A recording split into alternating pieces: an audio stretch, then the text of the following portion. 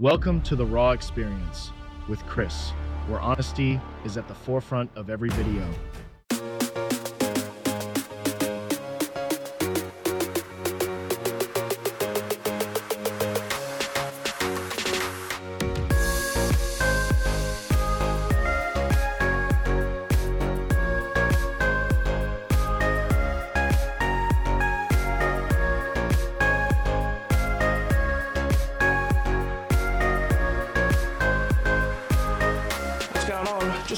Today. Just got the uh, Falcon Creality uh, honeycomb metal panel plate insert for the Falcon A1 laser. So let's get out of the box, check it out, and see how well it fits. Fairly well packed.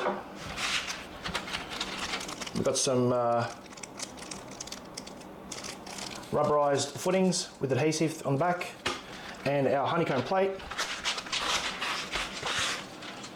which uh, is uh, basically a riveted channel.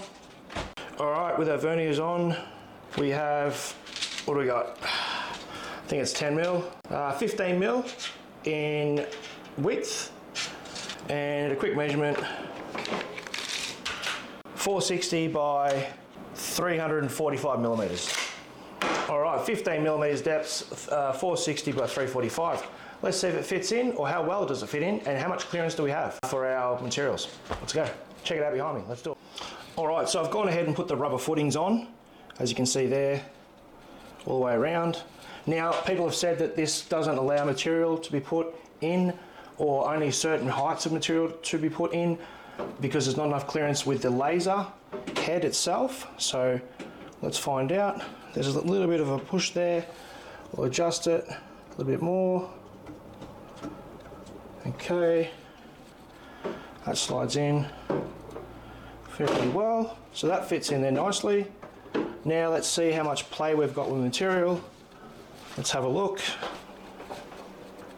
All right, so we've got a honeycomb plate in there. We're going to put our uh, gauge in to measure our height and clearance. So we'll go for the highest one. We seem to be able to fit. Oh, no, it doesn't fit. Now, this is where they've said that it doesn't uh, adjust. Now, from what I can see, the cable's not set properly. Reset that. Undo your screws, lift it up, it's a bit stuck. Let's have a look at that. There's a cable in the middle there, needs to be moved around. And what do you know? Voila. Just give that a bit more of a give. And what have we got now?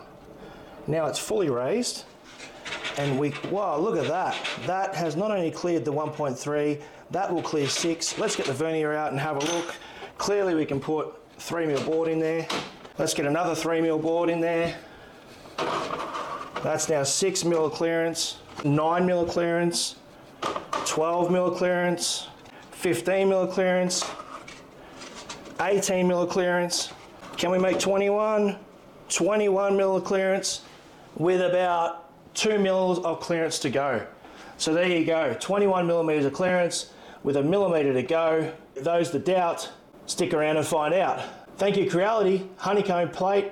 You just need to adjust the head properly, uh, re-rate your cables appropriately, and you'll get the full height of the maximum engraving and cutting of the Falcon A1, or I suppose any other printer for that matter when it's set up correctly. Chris Creations, thanks for watching.